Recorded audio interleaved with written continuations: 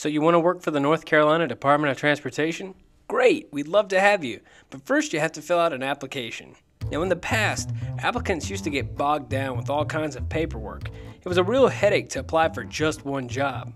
But now everything has changed with our eRecruit online application process. It's super easy to do and lets you apply for as many jobs as you want. The best part? It only takes a few minutes to do. FYI, eRecruit isn't limited to just NCDOT careers. You can browse through all kinds of job openings in departments and agencies across the state. Let's take a quick look and see how it works. First, go to www.osp.state.nc.us/jobs and click on the Career Seekers link here. You'll need to create an account if this is your first time using eRecruit, and it couldn't be easier. Click on the Create Your Account Here link. Remember, only one username and password per email address. Here's where you fill out basic information like your name, phone number, and email address. You'll also create your username and password. Don't forget this username and password. Write it down and keep it in a safe place. Now, click the Save button. Get used to saving your work.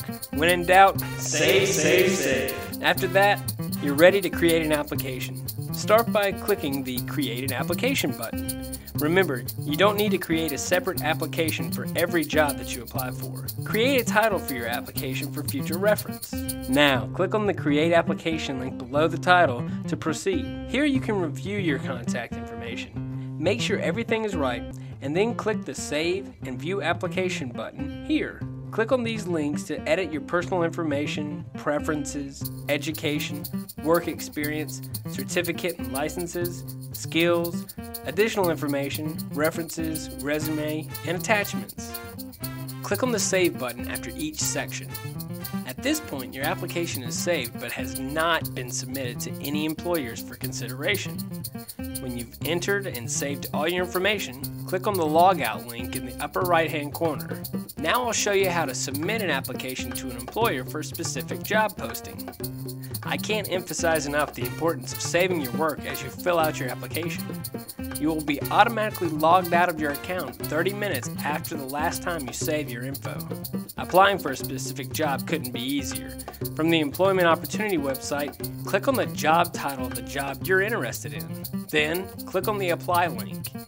Log in using your applicant username and password that you created previously. Click on the link that says to apply for the position. Answer any job specific supplemental questions if prompted. Click on the Save and Proceed button at the bottom of the page. Scroll to the bottom of the application review screen and click Confirm and Send Application. Click the Accept button on the digital signature screen and you're done. I told you it was easy. Good luck and happy job hunting. Oh, yeah, don't forget to click on the logout link in the upper right hand corner. Have a great day.